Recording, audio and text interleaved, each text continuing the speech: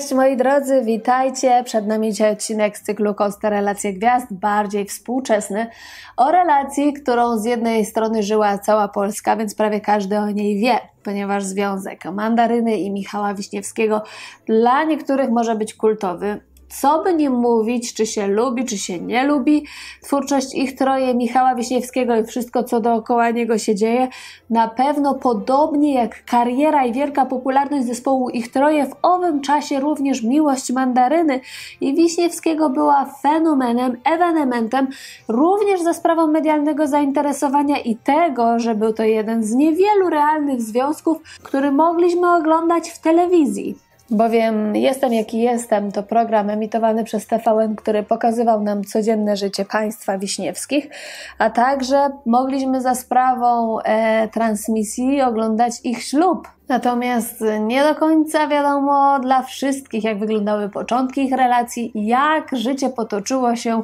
po tym, kiedy zniknęli już z małego ekranu, więc ja Wam o tym opowiem dzisiaj. Powiem też, jak dziś wyglądają ich relacje, co u nich słychać. Także myślę, że nie ma co Was więcej zachęcać, bo już pewnie wiecie, czy chcecie zobaczyć, czy nie. Zachęcam tylko do subskrypcji mojego kanału, jeśli odwiedzacie mnie regularnie i zostania ze mną do samego końca, jeśli zdecydujecie się na oglądanie. Zapraszam więc serdecznie.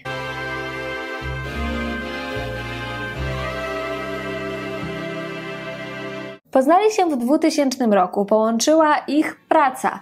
Mandaryna, czyli Marta, została wtedy y, jedną z tancerek w grupie, a później również choreografką, przygotowując choreografię do występów tanecznych, które towarzyszyły grupie ich troje na scenie. Co prawda, kiedy trafiła do zespołu, Michał Wiśniewski był jeszcze formalnie mężem Magdy Fem, jednak ta relacja chyliła się już ku upadkowi. Po tym jak zaczęli być razem, ich ślub cywilny odbył się dwa lata później. Trzeba przyznać, że był nietuzinkowy, chyba jak wszystkie śluby Michała Wiśniewskiego, natomiast ten nieco w innym stylu niż te późniejsze, które już mogliśmy medialnie śledzić, bo ona wtedy była ubrana w dres, a on miał złamaną nogę. Wszystko podobno y, nastąpiło w kilkadziesiąt minut, y, łącznie z przygotowaniami aż do samej ceremonii. Michał zadzwonił do mnie o 4.15, po czym powiedział, że o 4.45 muszę się stawić w Urzędzie Stanu Cywilnego, bo właśnie dzisiaj bierzemy bierzemy ślub. Ja oczywiście wiedziałam, że będziemy brać ten ślub, ale nie wiedziałam o której godzinie i którego dnia. Wsiadłam w samochód i pojechałam do rodziców. Kazałam im się natychmiast ubierać i jechać, bo będziemy się żenić, wspominała w jednym z wywiadów. Natomiast później Michał Wiśniewski jednak uważał, że Taki ślub, ślub w pośpiechu, na szybko, był błędem. Dziś mogę się przyznać, że to był bardzo prostacki krok, bo jaka księżniczka nie marzy o tym, żeby założyć białą suknię, żeby stanąć przed ołtarzem i powiedzieć tak, a nie przyjść w ciuchach po próbie przed koncertem i podpisać akt notarialny. Trochę żałosne, dzisiaj to rozumiem, deklarował. Natomiast ich związek faktycznie przypadał na moment najbardziej medialny w życiu Michała Wiśniewskiego, na okres największej popularności grupy ich troje, kiedy tak naprawdę zarówno na samego Michała Wiśniewskiego, mówiąc skrótowo, jak i na zespół ich troje był po prostu w Polsce szał. Wiśniewski wyrósł na gwiazdę numer jeden, sprzedawał miliony płyt, wszystkich także interesowało więc jak wygląda jego życie prywatne, tym bardziej, że był jedną z pierwszych w Polsce gwiazd, która je tak ochoczo prezentowała. Na dodatek w tym momencie układał sobie życie rodzinne, które, jak podkreślał często w wywiadach, miało być ustabilizowane. Zależało mu na tym głównie ze względu na jego przeszłość. Życie w rozbitej rodzinie, tułaczkę po domach dziecka i różnych rodzinach zastępczych. Para doczekała się najpierw syna Xaviera, a później już, kiedy oglądaliśmy program Jestem jaki jestem, dowiadywaliśmy się, że Marta spodziewa się drugiego dziecka. Tym razem chodziło o dziewczynkę, Fabienne. Na antenie mogliśmy także zobaczyć, jak wyglądały ich relacje. Oczywiście w pigułce, no bo wiadomo, że był to 40 mm, czy 50 minutowy skrót z całego dnia Wiśniewskich. Natomiast dowiadywaliśmy się głównie tego, że była to sinusoida. Od wzlotów do upadków. Wzloty, kiedy były romantyczne wyznania, Marta w ciąży śpiewała piosenki dla męża z wyznaniami te, tego, że będzie zawsze stała przy nim. On niejednokrotnie również e, bardzo doceniał żonę, po różnego rodzaju kłótnie, które obserwowaliśmy w domu. Michał był zazdrosny na przykład o jej występ w serialu Na Wspólnej, ponieważ Marta wtedy jako żona Michała Wiśniewskiego przyciągała bardzo duże zainteresowanie. To też dostawała sporo propozycji zawodowych, z których chciała korzystać. Mogła być aktorką, piosenkarką, naprawdę miała tych propozycji bardzo dużo. Skorzystała, e, występując w serialu na wspólnej. Nie podobało się wtedy Michałowi to, że grała kobietę z prostytucyjną przeszłością i że całowała się z Igorem e, z na wspólnej. Marta natomiast również była zazdrosna o męża, mogliśmy obserwować kłótnie o buziaki z fankami. Widać jednak było, kto gra pierwsze skrzypce w tym związku, zresztą nie tylko z Martą akurat w związku, tutaj mówię oczywiście w cudzysłowie, ponieważ Michał akurat w tym momencie był mocno despotyczny. Również jeśli chodzi o sprawy zespołowe, przynajmniej tak to było przedstawione w programie, nie bardzo lubił dyskutować i podkreślał, że demokracji w zespole nie ma. W związku wyglądało że też nie do końca. Natomiast para postanowiła wziąć ślub, jak to mówili, z prawdziwego zdarzenia. Taki z wielką imprezą, tym razem kościelny. No i faktycznie nie byle jaki, bo uroczystość odbyła się w Kirunie. Świadkami było ponad 100 gości, chociaż niektóre źródła podają, że nawet 200. Transport zadbali państwo młodzi, wynajmując prywatny samolot. Ogólnie wszystko to kosztowało jakieś kosmiczne pieniądze w owym czasie. Natomiast Michał podsumowywał to tak. Każdy z Państwa zna pewnie bajkę o Kopciuszku, czy też Królową Śniegu.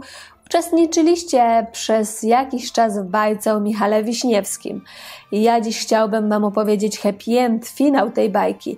Bajki, która była dla mnie największym wydarzeniem w życiu. I tutaj być może był to zwiastun, bo jednak ślub nie jest happy endem, ale zawsze jednak endem, czyli końcem czegoś, a dopiero początkiem. A tutaj niestety niedługo jednak Państwo młodzi wytrwali w tym ślubie, ale do niego jeszcze nawiązując, ja oczywiście oglądałam w telewizji transmisję ze ślubu i zastanawiałam się, jak to jest możliwe, że im nie przymarzły tyłki do tych foteli, które były przecież również z lodu. Marta trochę zdradziła, jak to się stało. Przyznała, że było to ogromne przedsięwzięcie, ale ona sama nie brała szczególnego udziału w przygotowaniach. To był dla mnie spokojny ślub. Wszystkim zajmowała się wynajęta firma, telewizja, setki ludzi. Ja dzięki temu bardziej mogłam skupić się na samej ceremonii i na tym, co chciałam powiedzieć, mówiła w rozmowie z Izabelą Janachowską, wspominając ten dzień. Było zimno, więc ja, kozak, sukienka, pod spodem bielizna narciarska, wyznała. No ale ta sukienka też nie była byle jaka, no bo nie mogli wyglądać byle jako.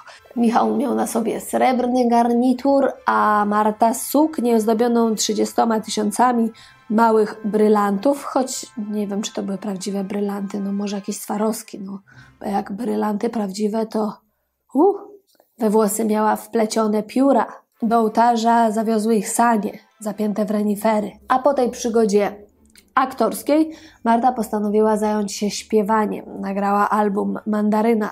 Com podbiła rynek coverem Here I Go Again, ale największą popularność przyniósł jej album mandarynkowy Sen ze słynnym Every Night, które jest kultowe do dziś. Znacie Every Night? Jak nie znacie, to musicie poznać, bo wstyd nie znać. Natomiast szybko wyszło na jaw, że Marta średnio sobie radzi ze śpiewaniem na żywo i też y, w sumie Zaczęło wychodzić przy tej okazji na jaw, że w małżeństwie przestało się układać. Podczas występu w Sopocie, jak pewnie pamiętacie, nie poszło jej dobrze, a mąż zamiast ją wspierać, mówił w mediach później, że cały czas próbował odwieźć żonę od śpiewania na żywo, ale ona zamiast ufać jemu, zaufała wytwórni, no i stąd taki efekt. Związek nie przetrwał próby czasu. W 2006 roku Wiśniewski złożył pozew o rozwód. Jak mówił wtedy w fakcie, kocham mandaryny, ale nie widzę ratunku dla naszego małżeństwa. Chcę rozwodu, bo nie wierzę, że Marta się zmieni. Para rozwiodła się 18 kwietnia 2006 roku. A Marta dodawała: Nie odnalazłam się w tym, musiałam się bronić. To był ten czas, by ta ścieżka, by ten znak był na prawo, a drugi w lewo, wspominała w rozmowie z Pauliną Biernat w tańcu życia. Mimo rozstania jednak Marta nie ukrywała, że liczyła przez jakiś czas, że jest to jednak chwilowy kryzys, jaki przechodzi wiele małżeństw i że być może będzie szansa na to, by do siebie powrócić. Media informowały wtedy, że głównym powodem rozstania była zazdrość. Natomiast media bardzo bardzo dużo spekulowały o tym, co się działo u Wiśniewskich. Oczywiście był to moment rozkwitu portali plotkarskich, więc był to temat numer jeden. Sugerowano, właśnie po tych komentarzach zapewne z Sopotu i tak dalej, że Michał Wiśniewski miał problem z tym, że jego żona robiła taką karierę. Natomiast Marta w rozmowie z Galą mówiła: przez parę lat byliśmy ze sobą bardzo blisko. Kiedy wychodziłam za Michała, byłam szaleńczo zakochana. A o tym nie da się zapomnieć. Przestaliśmy się dogadywać, przestaliśmy być partnerami. Nie wiem nawet, kiedy to się stało. Jeszcze niedawno wydawało mi się, że uda nam się do siebie wrócić. Dlatego wynajęłam dom, a nie kupiłam. Teraz myślę, że nie ma już na to szans. A w innym wywiadzie dodawała: Mogłabym udawać twardzielkę i powiedzieć, że nigdy w życiu nie chciałam do niego wrócić. Tak nie jest i nie było. Płakałam, byłam sfrustrowana, wystraszona, może nawet coś więcej. Przecież spędziliśmy razem blisko pięć lat i ten związek dał mi dwoje wspaniałych dzieci, które nadały sens mojemu życiu. Wyobrażałam sobie, że tak będzie do późnej starości, dlatego też szok po rozstaniu był ogromny. Ale nie chcę już płakać nad rozlanym mlekiem. Tak się stało i nic tego nie zmieni. Z kolei po latach, w 2018 roku, na antenie Pytania na śniadanie odpowiedziała jeszcze więcej na ten temat. Rozwód z pewnością zabiera dzieciom kawałek rodzinnej sytuacji, ale po rozwodzie możemy dać im więcej szczęścia, bowiem domy, w których od rana do wieczora są wieczne awantury, rzucanie talerzami i ciągła trauma są gorsze od tych, których rodzice żyją osobno. Nigdy nie traktowałam ich jak dzieci po rozwodzie, nad którymi trzeba się w jakiś specjalny sposób pochylać. Nigdy moje dzieci nie spotkały się z sytuacją samotności mamy w moim domu. Zawsze było dużo ludzi, mówiła szczerze. Natomiast gdy już widać było, że niestety do żadnego pojednania między nimi nie dojdzie, Michał Wiśniewski na stronie, której napisał: Największa porażka, moja porażka w moim życiu i tak będę cię kochał. I nie krył nawet po czasie, że związek z mandaryną był dla niego bardzo ważny. Mandaryna była miłością mojego życia, taką szaloną od pierwszego wejrzenia, można by powiedzieć, ale teraz jestem najszczęśliwszym człowiekiem pod słońcem. Trwałe szczęście jest jednak najważniejsze, zdradził Wiśniewski. No Marta dodawała, że pomijając oczywiście dzieci, bardzo wiele dał jej związek z Michałem. Przy Michale zaczęłam stawiać pierwsze kroki. Od niego wszystkiego się nauczyłam. Gdyby nie on, na pewno miałabym swoją szkołę tańca, bo tego próbowałam już zanim go poznałam. Jeśli chodzi o śpiewanie, to nie jestem tego taka pewna, mówiła w programie 20 metrów kwadratowych. I dodaje, że nie żałuje po latach tego, że ich związek był aż tak bardzo medialny, a ona sama, ich relacja, a później rozstanie byli tak bardzo na językach. Jakbym miała myśleć, czego żałuję, to chyba okładałabym siebie jakimś balsamem, którego nie lubię i źle mi pachnie, a ja lubię balsamować się ładnymi zapachami. Nie rozpatruję tego w takich kategoriach. Życie, na które się zdecydowaliśmy, jest życiem medialnym. Co z tego, że podjęliśmy się czegoś fajnego, skoro nie chcemy tego pokazać? pytała retorycznie. A para po latach spięć przekonywała w mediach, że ich relacje bardzo, bardzo się poprawiły. Dobrze, że teraz mamy już taki kontakt, że możemy sobie zadzwonić i pogadać o dzieciach, jakby siekiera jest w plecaku schowana, mówiła w 2018 roku. A jeszcze wcześniej, w 2010, nawet powrócili do współpracy. W Dzień Dobry TVN Michał ujawnił, że zostanie jej menadżerem. Wydawało mi się, że gdzieś tam muzycznie Marta zmieniła swój kierunek. Tego sukcesu nie powtórzyła, który był dzięki pierwszej i drugiej płycie. Tak mi się wydawało, że królowa jest tylko jedna i rzeczywiście królowa densów była tylko jedna i wydaje mi się, że trzeba do tego powrócić. A 10 lat później Marta powróciła do ich troje jako choreograf zespołu. Znów ale okazało się, że mimo upływu czasu jednak wspólna praca to nie jest najlepszy pomysł. I znów postanowili, że ich drogi się rozejdą, nie rozmawiali na sprawy zawodowe, znów powrócili do rozmów tylko w sprawie swoich dzieci. Ja już dawno poszłam w inną stronę. Nie uszczęśliwimy całego świata. Czemu mam puszczać Michałowi wszystko, co zrobię? Ja się rozwiodłam 15 lat temu, mówiła w pomponiku. A kiedy Michał Wiśniewski wszedł w jakiś konflikt na planie Twoja twarz brzmi znajomo, gdzie jest jurorem, Marta to skomentowała. Powiedziała, że jego zachowanie przed kamerami może się różnić od tego poza nimi. Myślę, że niepotrzebne jest wypowiadanie się na mój temat. Mamy wspaniałe dzieci, które będą nas łączyć do końca życia, natomiast absolutnie eliminuję ze swojego życia wszystkich, którzy życzą mi źle. Nie potrzebuję takich komentarzy od osób najbliższych, opowiedział dziennikarzowi Pudelka, pytany o relacje z mandaryną. I dodał, że będą utrzymywać wyłącznie kontakty związane z dobrem dzieci. Natomiast Marta powiedziała, że ta układanka funkcjonuje i choć Michał Wiśniewski niedawno ślubował piątej żonie, ona bardzo mocno trzyma za nich kciuki. Kibicuję im, ale nie uczestniczę w ich życiu. Zdarza się, że jestem u nich, czy oni u mnie, ale to nie są zaciśnięte relacje. Darzymy się życzliwością, nie mamy się o co kłócić, więc życzę Michałowi szczęścia. Marta natomiast nadal pozostaje rozwódką i przyznała, że nie zamierza w najbliższym czasie tego zmieniać. Natomiast warto wspomnieć jeszcze o czymś. Po rozstaniu z Michałem Wiśniewskim Marta faktycznie była przez dłuższy czas sama, natomiast Michał Wiśniewski dość szybko związał się z Anią Świączak, z którą również wziął ślub, z którą ma dwie córki. Media plotkarskie wtedy bardzo huczały od plotek na temat tego, jak wyglądają relacje byłej i obecnej w owym czasie żony Michała Wiśniewskiego. Dziś z perspektywy czasu kobiety przedstawiają to tak. Poznałyśmy się dawno temu, przecież Aniu, jak ty zaczęłaś śpiewać Wiktroje, to już kawał czasu. Ja w ogóle sobie nie przypominam, żebyśmy darły ze sobą przysłowiowe koty, czy robiły sobie na złość, powiedziała Mandaryna. Ania Świączak dodała, występowałam w Wiktroje, jak ty Marta byłaś choreografem w zespole. Pamiętam, jak uczyłaś mnie takiego kołka drewnianego, jak się ruszać, bo przecież ich troje to jest show. Tak się zaczęło. I dodawały, że konflikt e, między nimi, który faktycznie istniał, był podsycany przez media plotkarskie, a było gorąco. Marta pisała. Święta były świetne do momentu, w którym przeczytałam pierwszego dnia świąt na blogu zwierzenia obecnej kobiety mojego byłego męża. Żal mi Michała, który mimo, że jest mistrzem manipulacji, tym razem sam dał się wmanipulować. A nie była moją dobrą koleżanką. Często przychodziła do naszego domu. Spędzałyśmy razem dużo czasu. Zwierzałam jej się z sytuacji związanych z Michałem, a ona to wykorzystała. Do naszego domu wprowadziła się ledwie tydzień po tym, jak ja z niego wyszłam, tak jakby czekała przed drzwiami na wycieraczce. Zrezygnowałam z ubiegania się o część naszego wspólnego majątku, mimo że miałam do niego pełne prawo. Tylko dzięki mnie nasz rozwód z Michałem trwał 12 minut i był bez orzekania o winie, chociaż nawiasem mówiąc, wina była już w zaawansowanej ciąży. Jednak dziś e, po tych problemach nie ma ani śladu. Panie nawet zdecydowały się na współpracę. Zaprezentowały singiel od nowa, w którym pokazały, jak dziś wygląda ich relacja. Uważam, że dobre relacje zbudowaliśmy razem, zawdzięczamy je sobie samym, nie tylko Michałowi.